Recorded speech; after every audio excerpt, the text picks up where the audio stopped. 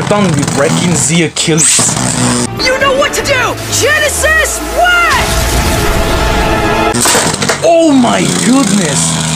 Jesus Christ!